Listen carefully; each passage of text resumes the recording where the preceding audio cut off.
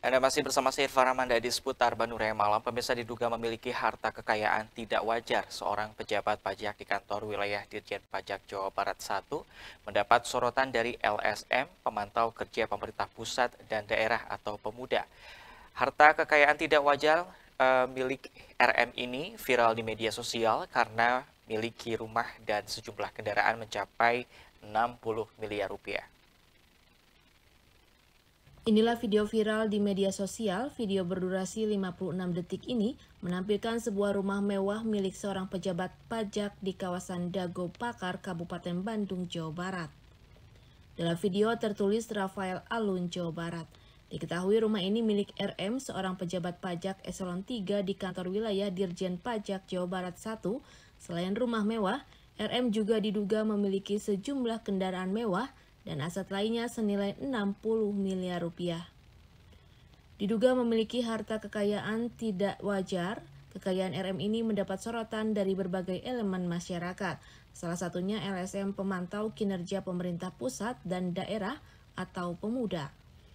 LSM Pemuda menyebut harta kekayaan milik RM ini tidak masuk akal dan tidak sebanding dengan gaji seorang pejabat eselon 3.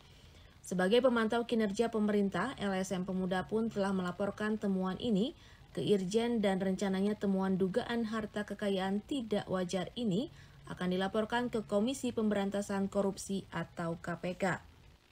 Uh, ya uh, bisa saya sampaikan bahwa kita hari ini saat ini sedang menyoroti adanya dugaan harta kekayaan tidak wajar yang kami juga kuat milik ASN Eselon 3 yang bertugas di Direktorat Jenderal Pajak Jawa Barat 1. Nah, kalau menduga ada harta kekayaan tidak wajar, kenapa tidak wajar? Mengingat Eselon 3 itu per bulan uh, gajinya sekitar 46 juta atau 50 jutaan per bulan. Sedangkan yang kita temukan ada rumah harga dengan puluhan miliar dan beberapa unit mobil uh, yang kita juga kuat atas nama orang lain yang disamakan. Menanggapi laporan adanya harta tidak wajar milik RM, Ketua Forum Ormas Jawa Barat, R. Hendra Mulyana menyesalkan terkait laporan tersebut. Hendra mengatakan, akibat laporan itu RM telah menjalani pemeriksaan selama 10 jam di Kementerian Keuangan. Hasilnya tidak ada temuan mencurigakan dari harta milik RM. Merasa dirugikan, pihak RM berencana akan melapor balik tindakan pencemaran nama baik tersebut.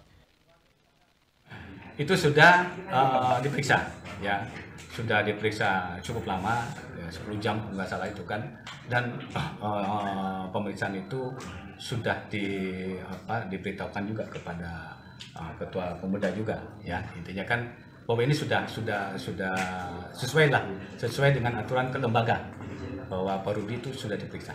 Ya. Sebagai induk dari seluruh ormas di Jawa Barat, Forum Ormas Jabar ini pun mengajak seluruh ormas untuk duduk bersama dan menyikapinya secara bersama. Yuwana Kurniawan, Bandung TV